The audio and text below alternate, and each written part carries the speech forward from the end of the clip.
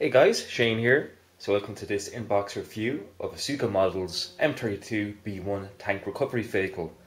So this is the armoured recovery vehicle for the Sherman family and this particular M32 variant is based on the M4A1 chassis with its cast hull design. So this kit is from Asuka or formerly of Tasca Models and it's probably the most comprehensive or complex kit that Asuka has in their Sherman range. So as we get looking at this kit, we're going to see there's actually quite a bit going on. And it is a very distinctive looking vehicle. I'm quite happy I got my hands on it. It's kind of rare to find these uh, models these days. So let's have a look see and see what we get in the box. So cracking open the box, which is a little bit battered and worse for wear. As you can see here, that's actually not um, Asuka's fault, that's just uh, the simple fact that it's a sat in my stash the last about four or five months and I'm only getting around to doing a review now. So as you can see, a massive amount of plastic in this kit. So if anyone's built or seen any of my reviews of other Suka kits, um, the part count is never too high. However, this kit is the exception. The M32 has a partial interior as well as a very cool looking A-frame crane for like you know lifting out engines and transmissions and what have you. So it's quite comprehensive. There's quite a bit going on in this kit. So as always, we're going to have a look at the uh, instructions and work our way from there. So the instructions, as per normal for Asuka models, are very well laid out. They're very clear. Uh, they're very similar to Tamiya instructions, so they are quite easy to follow. This is probably the most, uh, the thickest manual I've seen from Asuka. It comes in two parts and I believe this is like a 39 or 40 step kit. So as always, with all armour builds, we start with the running gear. We have our uh, two-part vinyl track uh, assemblies. These go together very well. There's a drop of super glue and they're fine. And I haven't had any issues with Asuka's vinyl tracks. Uh, you don't really need workables for a Sherman unless you really want one. Sherman had what's known as active or live suspension, so there was no sag on their tracks. So, you know, workables aren't always necessary. You know, with German tanks, yes, it makes sense to have workables or at least link and link tracks to get the iconic and very unique sag that those tanks had. Sherman, not so much. We do have special uh, mounting points for, I believe these are for the mine rollers. Uh, these are not included in the kit, but the um, a lot of these M32s were also used as mine clearing vehicles with the large uh, disc mine rollers, which I believe, what the M1B2s I think they're called. Um, I, I, don't think there's any of them left in plastic. Linden used to do a set, but I believe it's out of production. Then we have our VVSS um, suspension buggies, so we're starting off with the wheels and the individual swing arms. And then the actual buggies themselves proper. These are fully workable. You do use these small um, foam kind of rubber like pads that you have to cut the shape and that's what actually gives the spring tension for the wings or the wings to, for the arms to swing in a realistic manner. I tend to leave these out and just glue them in place and just take the time to ensure everything's aligned correctly. We do have some unique plate detail here for some of the buggies and that's actually for the mounting of um, various equipment that's unique to these recovery vehicles. Step 6, we have our multi-part um, lower um, tub assembly. We do have a small amount of interior detail on this kit because it has an open uh, turret so you can look down inside the machine.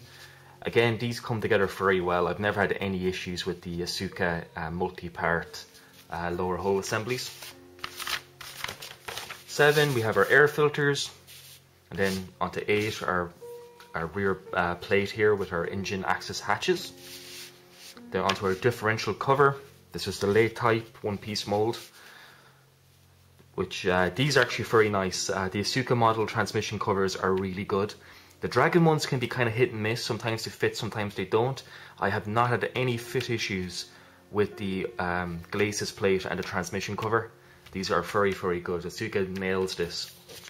Then we have our drawbar and um, tow hook mounts, which again are unique to a recovery vehicle. These will uh, this particular anchor point for a tow hook mount will fit to the uh, forward glacis plate of the vehicle. Then we're moving on to step 11 and we're beginning to look at some of the interior details, at least the partial interior that's supplied.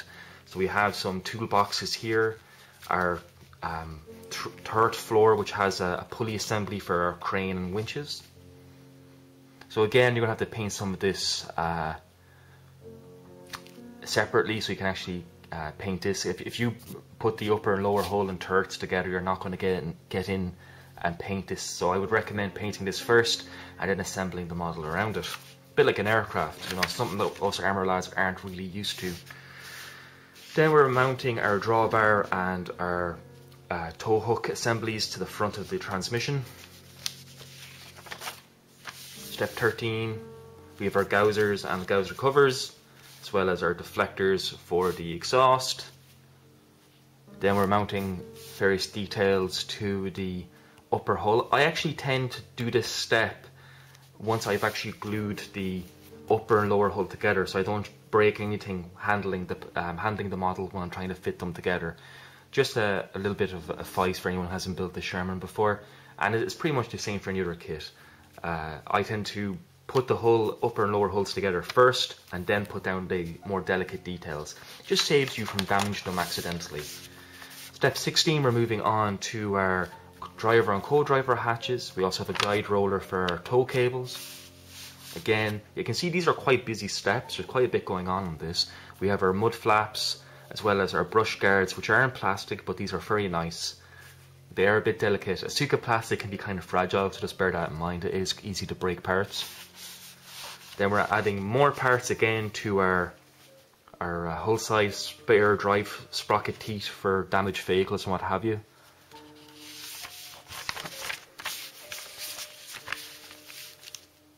Step 20, again, more hull side details. Then we're moving on to our engine deck, our big armour cover and photo etch um, engine grill. We have another tow hook um, anchor point here, which I imagine is for the back of the vehicle. Yeah, exactly, here we go. You can see it being mounted onto the back of the engine deck. Then we have our um, deflector here for the engine grill. Then on to step 24. We have some large toolboxes that will fit onto the rear of the, uh, the engine deck.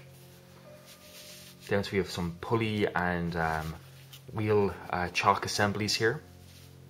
Again, there's a lot going on, so I would recommend that you just take the time and study these instructions before you really get stuck into this model. Then we're adding our, our toolboxes and what have you to the back of the uh, engine deck here. And then we move on to the second pay or the second insert that has us continuing now into the actual open turret of this uh, recovery vehicle. So again, a lot of interior detail. I would recommend painting these um, as uh, individual walls and then assembling them, just so you can get in and paint and weather these.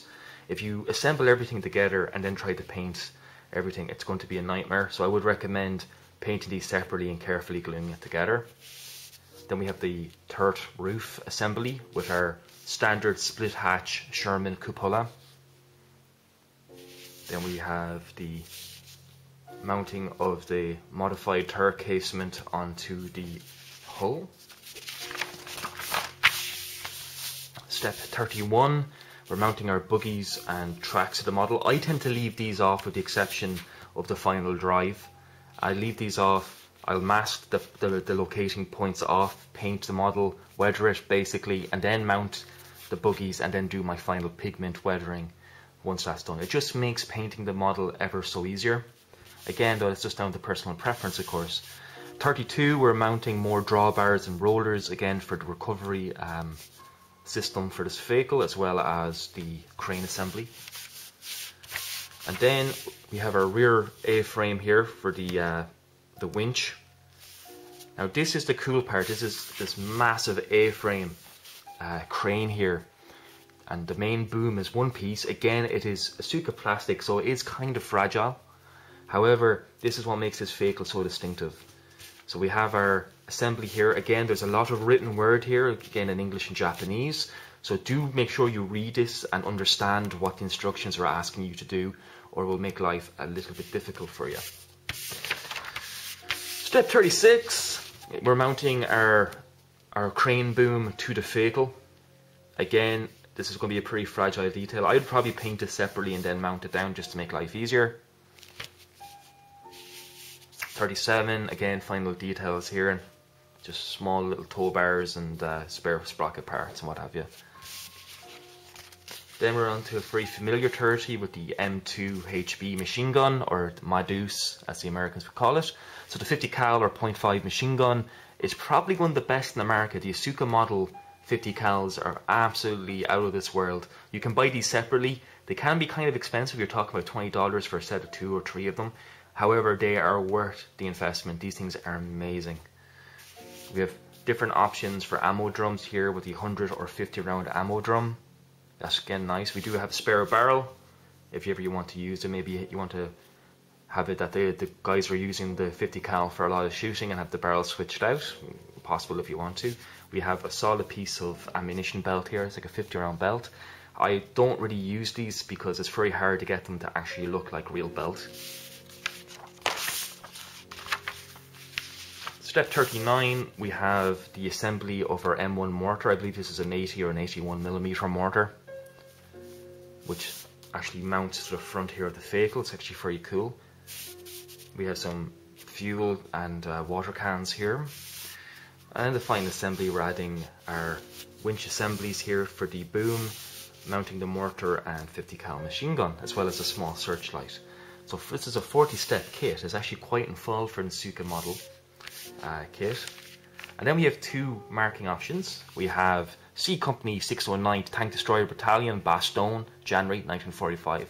This is probably the fake I'm going to go for, um, just because it's Bastogne and you know it's great story and provenance behind that. I do like the, the story of the Battle of the Bulge quite a bit. Uh, then we have marking number two, A Company 612 Tank Destroyer Battalion, Czechoslovakia, May 1945, so right at the end of the war. So that is our instruction manual. As you can see, it's pretty in depth. And then we'll just go through some of the smaller parts of the kit before we get into the, the plastic proper. So we do have our, our plastic, or should I say our vinyl tracks. Detail is very nice. As you can see, the vinyl consistency is, is just right. It's stiff enough to make it look like it's solid, but not soft enough, soft enough that it's um, you know like too easily pliable. It's one of the things with DS tracks, sometimes they just actually look like they're too soft and they don't look like they're made out of steel.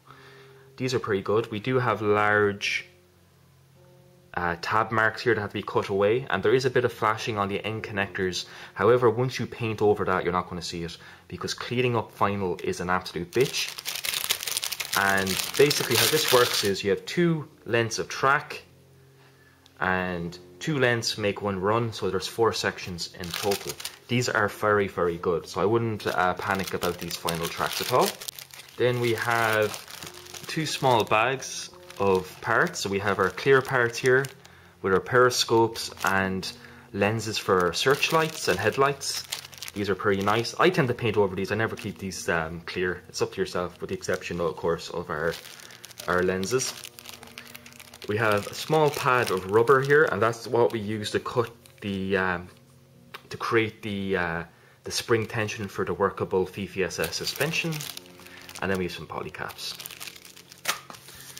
We also have a bag of ridiculously coloured string. I do like my string to be neon and post German 90s nightclub like. And then we have our decal sheet. Again, it's pretty simple, just big allied stars and a few tactical markings and a small photo etch fret with our engine grill and geyser grills. So let's have a proper look at the parts. So we'll start with our one piece upper hull. So again this is of the M4A1 design with the beautiful cast hull. This is one of my favourite uh, Shermans, it's actually the A1 variant. It's such like a pretty, uh, I love the silhouette of, the, of this type of, this curve here, like there's like a shoulder and a back rolling back, it's really nice. I am seeing some sink marks, which is the first time I've ever seen any type of moulding imperfection on an Suka kit. However, the turret sits on top of this, you're not going to see it, it doesn't matter. Again, it did have a plastic sprue that's come off. but it hasn't pitted the plastic, which is really good. So I don't have to fill any pit marks that the sprue might have pulled out of the plastic. Again, really nice. We do have a nice cast texture. Hopefully you guys can see that. And we do actually have some small mounting brackets here. So if you took off this engine plate had an engine exposed, uh, you would have a bit of detail here, which is nice. Unfortunately, there is no, um, I believe there's no A1 engine packs out there. Um, I think you can modify, I think it's the M4 engine to fit inside this, but uh, it might be a bit dodge. So I'm immediately going to pull you over to one of the larger sprues in this, and this is the actual crane boom for the A-frame. And as you can see, it is a pretty impressive piece of plastic. It's, it's actually uh, quite impressive. Uh, there is a lot of pin or locator tabs here that are going to be cut away very carefully and sanded just to maintain the, uh, the shape of this. Again, you have these little grab handles running up the length of this uh, boom here. So this can be a bit fragile. Hopefully it won't like damage any of the, the more delicate parts. Then we have some drawbars here. Again, this is all recovery equipment, big hooks and what have you. Detail is very nice. We have the modified um, sprocket here with the uh, mounting cap for the mine rollers, I believe. Again, these aren't included in the kit. So that is a really nice uh, sprue again. Detail's nice, it's nice and sharp. I'm not seeing any pitting or any flashing. So that's nice. Let's move on to the next one. Then we have our modified turret. So once again, we do have cooling marks on the plastic. I don't know how well you guys can see that. But once you paint and prime it, you're not going to see it. I am seeing a little bit of flashing here. You might be able to see it. It's a bit disappointing, but again, quick run of a file we'll get rid of that. There is a lot of pin marks on the inner faces of these and some burring. So this is a little bit disappointing.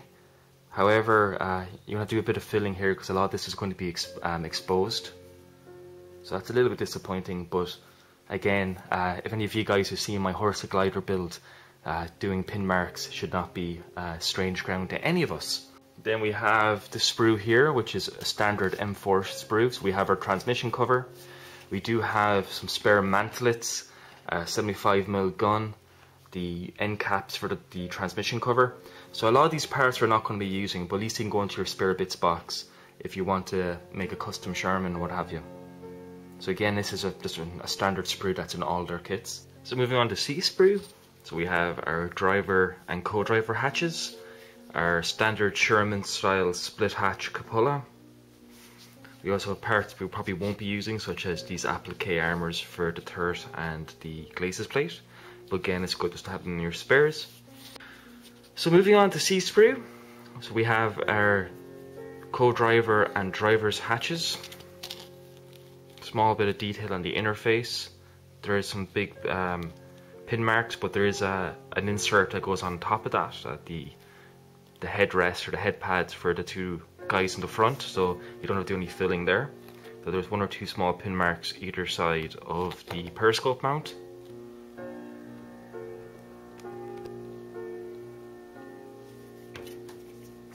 Then we have our standard Sherman split um, hatch cupola that we will be using on our modified turret. We have parts here that we won't be using. We have some applique armor and turret cheek armor that we won't be using as the M32 doesn't have a standard Sherman turret, if you will. We have this former, which is for forming photo etch parts to the shape of the head guards or the brush guards for the headlights. This is actually very handy. Do keep um, your do hang on to these, should I say? They are pretty handy to keep, especially you're going to be doing a lot of Shermans. We have some Pioneer tools. We have a little bit of flash here on our idler tension bars. We have the waterproof, the waterproofing mount for the bow machine gun. We have the fire extinguisher control panel for the engine deck our Gauser fence. As you can see here, the M1919, or sorry, yeah, the M19 machine gun, or the M1919 machine gun is a bit damaged here. However, the barrel is in the box, so I can just glue that back on. We have the coaxial that we won't be using. We have the early style three-piece transmission cover. Again, we won't be using that. But these are all good parts for keeping in your spares.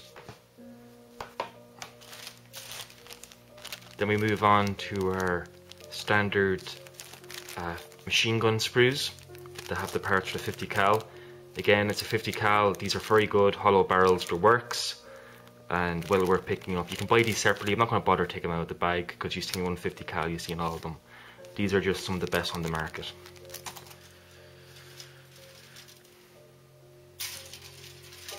Then we get three sprues of of our running gear. So we're just going to take a look at one. So we do have options for road wheels. So I think these are spare road wheels. These are the solid version, and then we have the stamped steel version road wheels. They are hollow, but there are there is inserts that go into them. Then we have our VVSS buggy suspension, um, suspension assemblies. These are pretty nice. They can be fiddly to put together um, because there is quite a few moving parts in them, but they do build up into immensely nice little replicas of the real things. Uh, Dragon's ones are workable too, but the actual swing arms themselves don't um, pivot individually like the real ones did. So that's uh, why the Asuka model VVSS suspension sets are so good. There is um, these can be bought separately, and there is an adapter set that you can fit these to any Sherman kit regardless of the make. So well worth picking up if you want to add that extra bit of detail. And we get three of these sprues again. We have some nice cast um, numbering don't know how well you guys can see that. On the uh, central columns of our suspensions. We do have a little bit of flash on this kit in places, would appear. And again, we have more cast um, numbering and data again on our buggy uh, assemblies. But the detail is very nice, even with that little bit of flashing.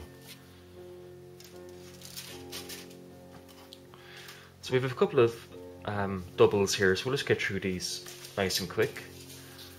So we get two sets of doubles. We have this sprue, which is D-sprue. We have our brush guards, again a little bit of flashing. These do build up pretty nicely. They are a bit thick, however, so again, there's plenty of photo etch options if you want to use them. We have our headlights, the armored covers for our periscopes, our fuel caps and tow um, hitches and lifting eyes. We do have solid inserts for our headlights if you don't want to use the clear parts for whatever reason, as well as we have the solid um, plastic periscopes again if you don't want to use the clear parts. I just tend to use these ones, it's all the same because I paint over them anyway so. We have a few um, spare track links.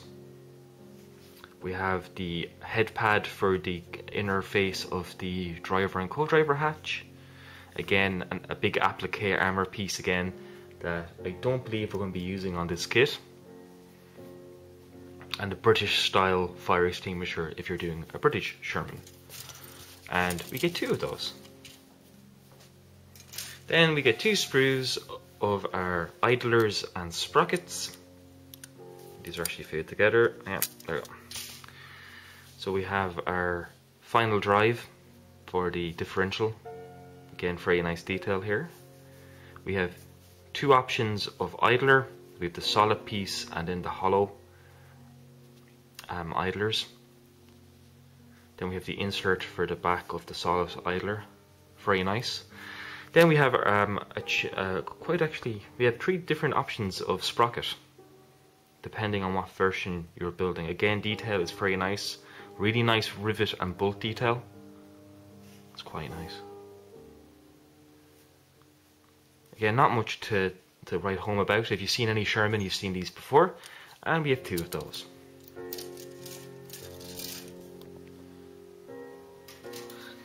One of the biggest differences with Asuka or Tasca Shermans is their multi-part lower hull assembly. And it's one thing that at first you might think will give you issues if parts don't align correctly. However, these go together really well. And as you can see, the detail is very nice. So we do have a fully detailed lower hull tub here.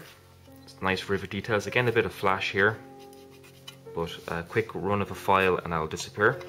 Even the, your fingernail will, will um, burr it away. I tend not to, if I'm honest, paint my lower hulls unless it's like a competition piece and since I don't bother competing, um, I just don't bother paint these.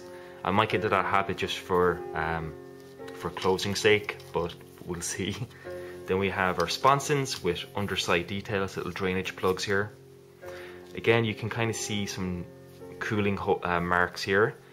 But once again, once you prime and paint this model, you'll never see those. That's just um, like a wavy pattern that's on the plastic. You can't even, there's no texture or anything to it. It's just uh, how the plastic cools out of the mold. Then we have the sides of our lower hull tub. We do have some pin marks here in the inner set, um, the mounting brackets for each of the buggies.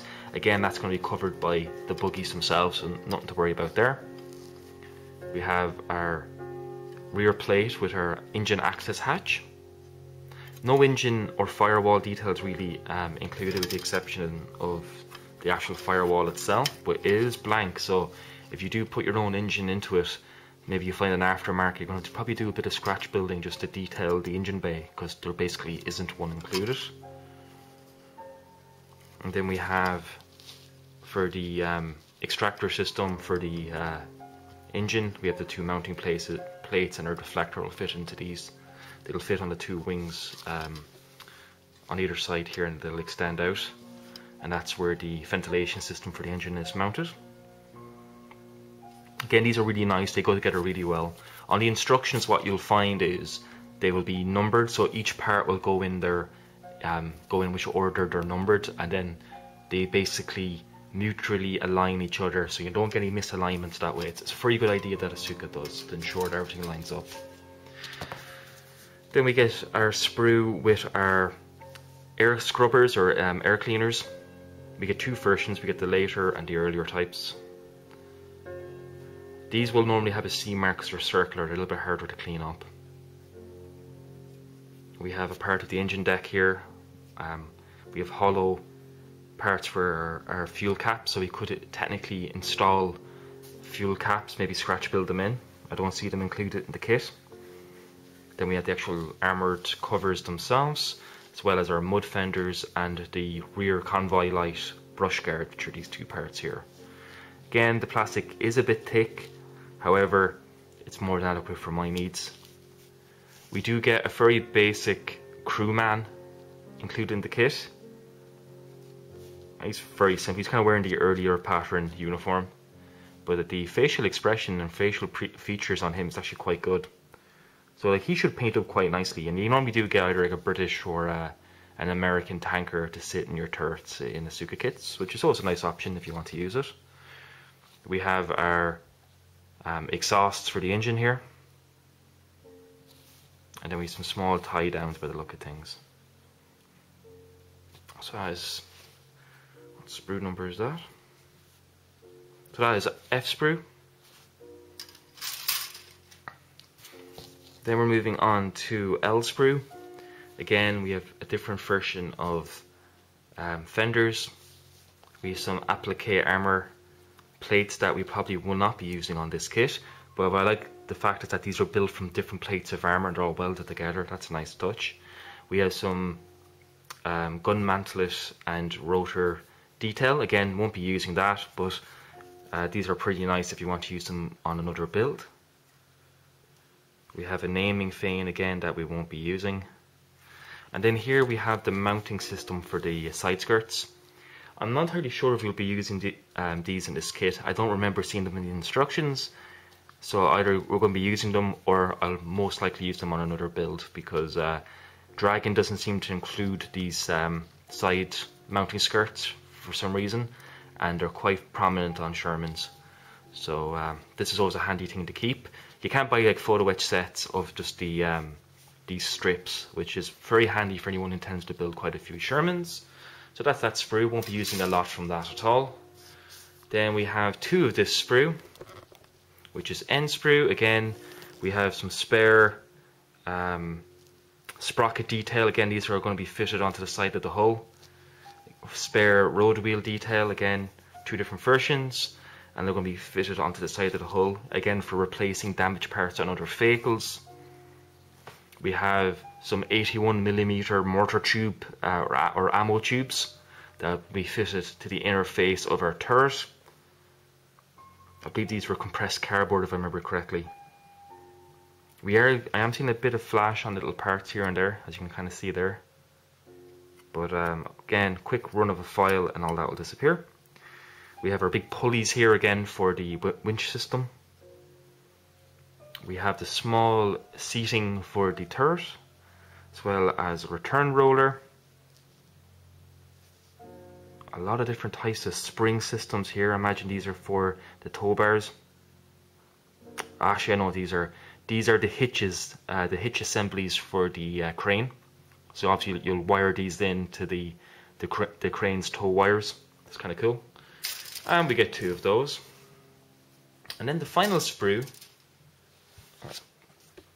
And then the final sprue is our partial interior sprue, and this is K sprue.